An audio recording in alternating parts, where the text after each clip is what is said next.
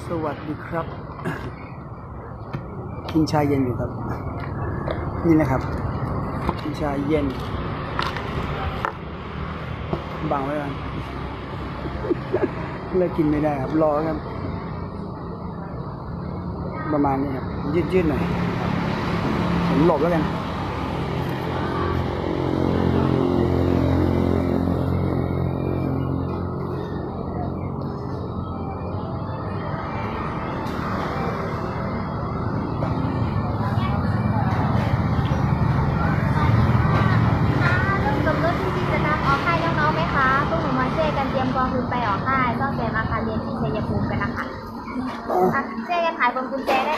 เอาไม่เอาเลยนี่ครับเดี๋ยวขอบคุณมากนะคะครับ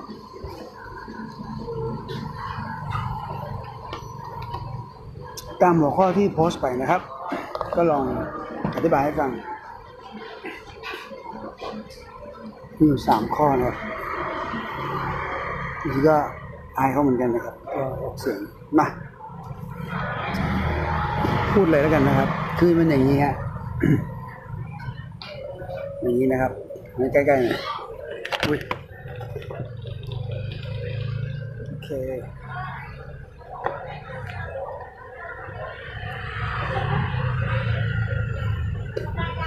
คือเวลาผมเล่าฟังเรื่องจริงก่อนแล้วกันนะ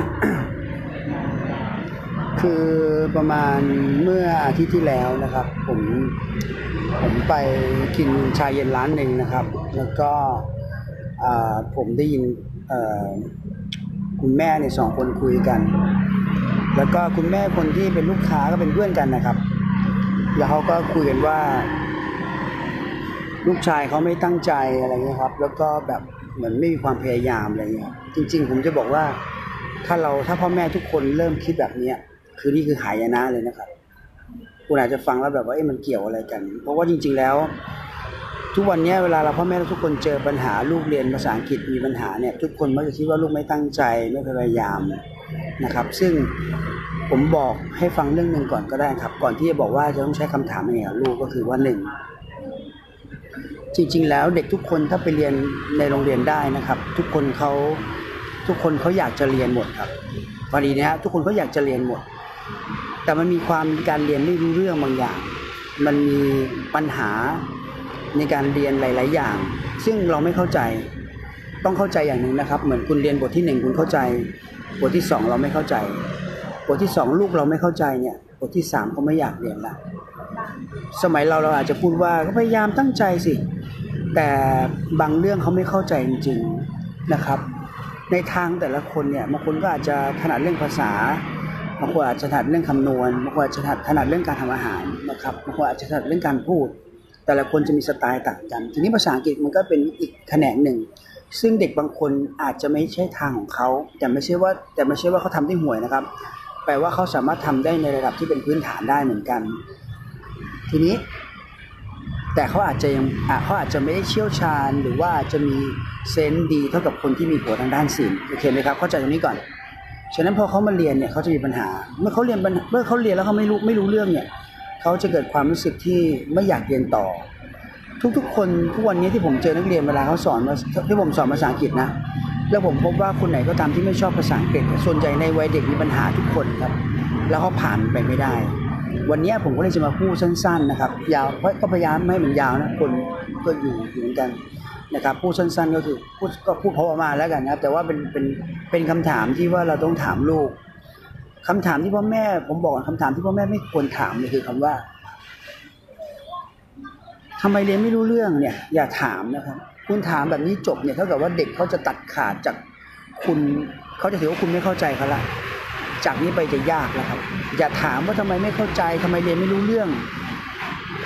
มีปัญหาอะไรให้บอกพ่อกับแม่เนี่ยห้ามทำแบบนี้ครับ การถามแบบนี้เป็นการเป็นการถามกว้างๆเกินไป ผมเคยพูดไว้นานหลายไลฟ์สดแล้วว่า การถามแบบนี้เป็นการถามกว้างๆเข้าไป เป็นการไล่ลูกให้เราไปไกลจากตัวเรา และปัญหามันจะเกิดขึ้นจนเขาโตครับ ถ้าวันนี้ถ้าเกิดพูดถึงเด็กวันนี้ผมพูดถึงสักประมาณอาประมาณสักหกเจ็ดขวบถึงสิบแปดแล้วกันนะครับ ผมบอกนี้แล้วกัน ห้ามถามว่าทำไมเรียนไม่รู้เรื่องจำไว้นะ ห้ามถามว่าทำไมเรียนไม่รู้เรื่อง มีปัญหาอะไรบอกสิทำไมไม่พยายามได้ยังไงเนี่ยการพูดด้วยการตัดสินด้วยความคิดของเราเนี่ยผมบอกเลยนะครับว่าผิด ผิดมาก ๆเลย ถ้าเขายังไปโรงเรียนอยู่แล้วเรียนวิชาอื่นอยู่แสดงว่า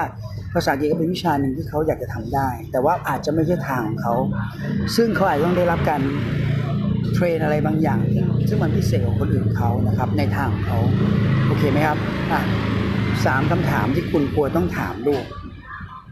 คำถามแรกจำผมบอกนะ อย่าถามว่าทำไมไม่รู้เรื่องนะถามคำถามนี้จบเลยนะครับ ลูกเขาไม่ฟังคุณแน่นอน คำถามแรกนะครับหนึ่งคำถามที่คุณต้องถามลูกคือไม่ดูนะฮะคำถามถามแค่นี้ครับ ถ้าคุณรู้สึกว่าลูกเรียนไม่รู้เรื่อง หรือไม่อยากเรียนภาษาอังกฤษ หรือว่าเกรดภาษาอังกฤษไม่ดี หรือว่าครูเขาไม่ตั้งใจ หรือหรือว่าเขาเงียบๆไป คุณถามคำถามแรกเขาแบบนี้ครับ แต่ก่อนหน้านี้คุณห้ามไปใส่ลมเขานะครับ ถามคำถามนี้ก่อนครับ คือหนึ่งถามเขาว่า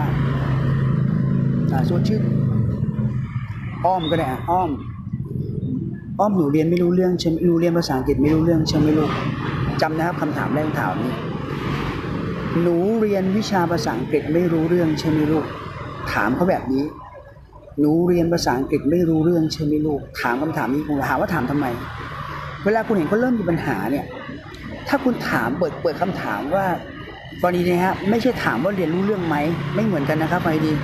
อย่าถามนะว่าเรียนรู้เรื่องไหม การถามว่าเรียนรู้เรื่องไหมเขาจะตอบ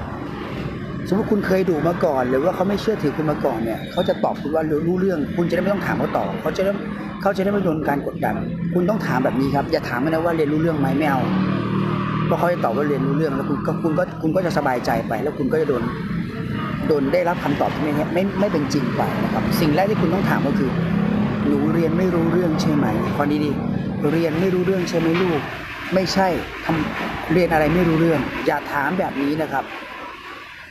อย่ถามว่าเรียนรู้เรื่องใช่ไหมไม่เอา เรียนไม่รู้เรื่องใช่ไหมลูก เพราะถ้าคุณถามว่าเรียนรู้เรื่องใช่ไหมลูก คนจะตอบว่าใช่ไปก่อน แล้วคุณจะไม่รู้ปัญหาของลูกเลย ถามเพราะว่าเรียนไม่รู้เรื่องใช่ไหมลูก ถ้าใช่แสดงว่าคุณมาถูกทางแล้วเข้าใจไหมฮะคุณเปิดใจเขาก่อนด้วยคำแรกว่าเรียนไม่รู้เรื่องใช่ไหมลูก เรียนภาษาอังกฤษไม่รู้เรื่องใช่ไหมลูก อันที่สองครับที่คุณต้องถามก็คือ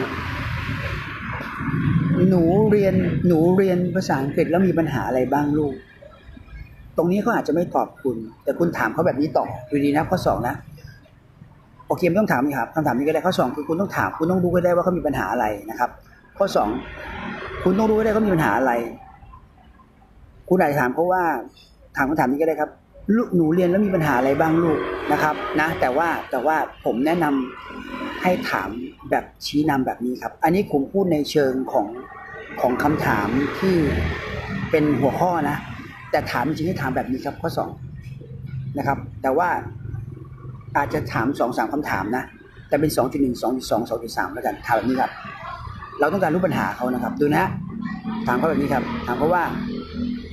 ถามเขาว่า หนูอ่านภาษาอังกฤษได้ไหมครับ ลูกคะขาแล้วแต่หนูนะ หนูอ่านภาษาอังกฤษได้ไหมคะ ครับ ถ้าเป็นพ่อก็ครับคุณแม่ก็เป็นค่ะแล้วคุณลองให้เขาอ่านดู คุณอย่าล้มเสียนะ ให้เขาอ่านดู ตอนนี้คุณให้เขาอ่านน่ะหนูบอกว่าคุณก็บอกคุณก็บอกว่าเออเนี่ยอ่านไปก่อนไม่เป็นไรไม่ต้องอ่านดู คุณจะได้รู้ว่าเขาอ่านได้ไหม อันที่สองคุณถามว่าอันนี้แปลว่าอะไรลูก เข้าใจไหมอ่านได้ไหม แปลได้ไหม อันที่สาม อันนี้ไม่ต้องถามก็ได้ อันนี้ไม่ต้องให้เขาไม่ไม่ต้องให้เขาทำก็ได้ครับ ถามเพราะว่า ผมบอกก่อนนะสองข้อสองเนี่ยผมอาจจะอธิบายผิดไปนิดนึงข้อสองอย่าถามว่ามีปัญหาอะไร ข้อสองก็คือเราต้องการรู้ว่ามีปัญหาอะไร แต่ให้ถามแบบ 2.1 2.2 2.3ดังต่อไปนี้ครับ 2.1 หนูอ่านรู้เรื่องไหมลูกให้เราให้เขาอ่านดู คุณจะพบว่าเขาอ่านไม่รู้เรื่อง หรือไม่รู้เรื่องก็แล้วแต่ แต่ส่วนใหญ่ที่ผมเจอมักจะอ่านไม่รู้เรื่องครับ 2.2 คือหนูแปลได้ไหมลูกอันนี้แปลว่าอะไร คำนี้บ้างลูกคำนี้บ้าง คุณจะได้รู้ว่าเขาแปลคำไหนไม่ได้บ้าง เขาไม่เข้าใจคำไหนบ้างโอเคไหมฮะ2.3คือคุณถามต่อ ตอนหนูเรียนในโรงเรียนน่ะ หนูฟังครูรู้เรื่องไหมลูกยิ่งถ้าเกิดโรงเรียนไหนนะครับ ที่เขาครูเป็นสอนเป็นฝรั่งเนี่ยคุณถามข้อสามสองจุดสองจุดสามได้เลย ว่า ตอนที่หนูเรียนที่โรงเรียนน่ะลูกหนูฟังครูเขารู้เรื่องหรือเปล่า อย่าลืมนะครับข้อหนึ่ง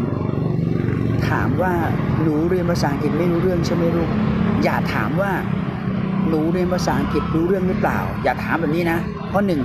หนูเรียนภาษาอังกฤษไม่รู้เรื่องใช่ไหมลูก ถ้าเขาตอบว่าใช่ข้อ 2 ตามมา ก็คือเราต้องการหาปัญหาเขานะครับ แต่ว่าให้ถามแบบ 2.1 2 2 2 3 คือ 2.1 คือหนูอ่านได้ไหมลูกลองให้เขาอ่านดูจะกดดันนะคุณอย่าทำอารมณ์ที่มันกดดัน ถ้าคุณทำอารมณ์กดดันเขาเขาจะไม่เชื่อคุณ 2.2 คือ 2.2 คือหนูแปลได้ไหมลูกแล้วให้เขาแปลดู บางคำคำนี้บางคำนี้บ้าง คุณจะรู้แล้วว่าเขาเขาอ่านได้ไหม เขารู้เขาเข้าใจความหมายไหมสามคือ หนูฟังตอนหนูเรียนที่โรงเรียนนะลูกหนูฟังหนูฟังหนูฟังครูไม่รู้เรื่องใช่ไหมลูกถ้า2.1มาไม่ได้2.2มาไม่ดี คุณถามข้อ3 2.3ไปเลยว่า หนูเรียนตอนหนูตอนที่หนูฟังครูที่โรงเรียนหนูฟังไม่รู้เรื่องใช่ไหมลูกคุณฟังดีนะถ้า2.1 2.1 2 2.2 2.3ใช่ทั้งหมดเนี่ย คุณต้องเข้าใจเลยว่าเด็กมีปัญหาละแล้วคุณไม่ต้องตั้งคำถามว่าจะมีปัญหา ผมบอกไว้ก่อนคือว่า ผมเมื่อกี้มบอกตั้งแต่ต้นชุดตั้งแต่ต้นคลิปว่า เด็กบางคนเขาจะมีปัญหาในแต่ละเรื่องต่างกัน เช่น อย่างผมเนี่ยไม่เก่งคำนวณ พอพูดคำนวณพวกผมปวดหัวเลย แต่ว่าผมก็ต้องเรียนให้ได้ในระดับที่ผ่านไปได้เข้าใจไหมครับแต่เด็กบางคนอาจจะเก่งคำนวณ แต่ภาษามีปัญหา ผมไม่ได้แปลว่า เขาต้องเก่งกาจขนาดนั้นนะเอาว่าเขาเรียนในระดับพื้นฐานได้เรียนในระดับที่สามารถต่อต่อยอดได้ ซึ่งไม่ไม่ใช่ว่าแบบเป็นปัญหาเข้าใจไหมฮะเข้าใจไหมฮะฉะนั้นต้องเข้าใจก่อน ฉะนั้นข้อหนึ่งถามย้ำทีนะข้อหนึ่งนะ ถามว่าหนูเรียนภาษาอังกฤษไม่รู้ไม่รู้เรื่องใช่ไหมลูก อย่าถามว่าหนูเรียนภาษาอังกฤษรู้เรื่องหรือเปล่าลูกอย่าถามนะข้อสอง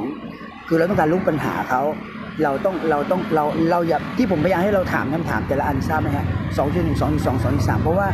เวลาเราไปถามเขาก็มีปัญหาอะไรบ้างมันกว้างเกินไป เด็กเด็กในวัยหกถึงสิบแปดเนี่ยบางทีสิบเจ็ดเนี่ยสิบห้าสิบหกเขาตอบเราไม่ถูก เพราะว่าเขาเขาเขาก็ยังไม่รู้เขามีปัญหาอะไร แต่เขารู้เขาไม่เรียนไม่รู้เรื่อง เราก็ต้องเราก็ต้องแจงออกมาว่ามีอะไรบ้าง แต่เราจะไปบอกเขาเลยไม่ได้เราต้องเราต้องรู้ว่าเขาคิดอะไรก่อน ก็ สองจุดหนึ่งคือหนูอ่านได้ไหมลูกให้เขาอ่านดูได้ไหมคุณจะรู้เอง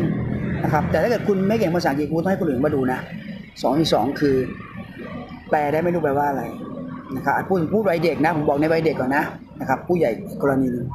สองจุดสามคือ ตอนหนูเรียนที่โรงเรียน ยิ่งเป็นครูต่างชาตินะจำไว้นะฮะฟิลิปปินส์แล้วแต่ หนูฟังครูไม่รู้เรื่องใช่ไหมลูกสองจุดหนึ่งสองจุดสองสองจุดสามประมาณนี้เกิดขึ้นเมื่อไหร่หนึ่งถึงสองสองข้อ ใหญ่เกิดขึ้นเมื่อไหร่ ลูกเรามีปัญหาแล้วครับ แต่ไม่ต้องตกใจข้อสามไม่ถามข้อนี้ครับว่า หนูอยากให้แม่ให้พ่อลุงป้านะอาช่วยอะไร ช่วยอะไรไหมลูก หนูอยากให้พ่อกับแม่ช่วยอะไรหนูไหมเด็กทุกคนเนี่ยเขาจะมีเขาจะมีอะไรในหัวครับ คุณอย่าคิดว่าเด็กหกขวบไม่รู้เรื่องนะสมัยนี้หกขวบนี่จิตใต้สำนึกมันโดนฝังไปแล้วนะครับ หกขวบถึงสิบเจ็ดปีเนี่ย มันเกิดขึ้นไปแล้วนะครับ คุณฟังผมความพูดผมดีๆนะ นี่โคตรสำคัญเลย อยากให้พ่อกับแม่ช่วยอะไรไหมลูก ช่วยอะไรไหมลูก คือแปลว่าเด็กเนี่ย บางทีเขามีปัญหานะครับ ในเมื่อเรารู้เสร็จเนี่ย แต่ปัญหาที่ว่าแม่เป็นสุดท้ายเนี่ย ชี้นำคือทำอย่างนี้เลย คือเด็กพวกนี้ผมบอกให้ฟังนิดนึงนะปัจจุบันนี้นะมันไม่เหมือนสมัยผมสมัยทุกคนนะบอกนิดหนึ่งในเรื่องจริงพ่อแม่คนไหนเคยเคยเจอเนี่ย คุณจะรู้เลยว่า เราบอกให้เขาทำเนี่ยเขาทำเพราะว่าเขาเกรงใจเราเขาทำเพราะเขากลัวเราเสียใจ แต่จริงๆเขาไม่มีความสุข